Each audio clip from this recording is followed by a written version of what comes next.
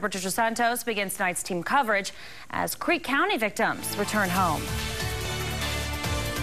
This is the type of scene that we are seeing. Take a look across the street here. You can see where the fire just stopped, just missing that home. Now, that family, of course, very fortunate. Others, however, not so lucky. We're seeing the total destruction of our dream house, our business, our, our lives. In one fell swoop, we lost everything. Joe Anaya may have lost everything he owned, but not the spirit to fight. We built it once, we can we can do it again. He's one of dozens of Creek County residents who were evacuated Saturday. The out of control fire tore through the home he built with his own hands. We're deeply saddened. We're heartbroken. I'm, I'm just always thankful when families can get their families out and they're safe. That's the most important thing. We can replace the, the personal items, but it's, a, it's family members you can't replace. Oklahoma Governor Mary Fallin visited the command post and got a first-hand look at the devastation.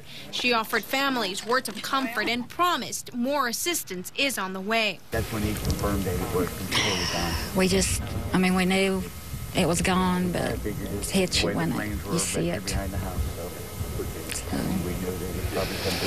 Kim McKellar had no words to describe what it's like to lose her home of 15 years. And with no insurance, she'll need all the help she can get. As we drive just south of Mannford, you can drive out for miles and see the devastation.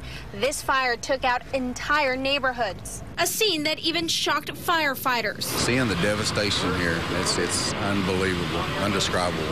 Uh, my heart goes out to all these people. Um, they just need, need a lot of prayers. Roughly 58,000 plus acres burned around a 56 mile perimeter. The exact number of homes and structures destroyed unknown at this time. Dozens of crews from as far away as Kansas were called in to help. But the work is not over yet. The fires are out, but the tragedy is not over. Patricia Santos, 2 News, works for you.